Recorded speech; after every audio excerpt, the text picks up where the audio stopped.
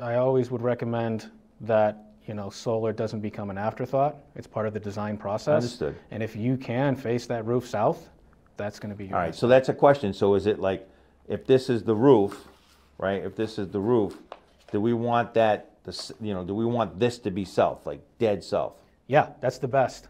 Okay. That's the So if best. the ridge is this way, east to, so the ridge would be east to west, and that would put the slope Yeah, south, dead south. yeah, so if you put. That's it- ideal. Yes, that's ideal. Yeah.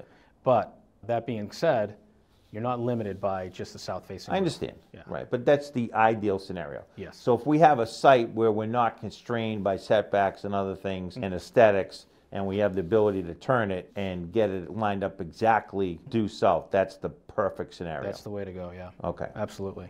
Yep. Right. So in terms of filling the roof, we are limited to how much solar we, we can put on the roof because of fire setbacks.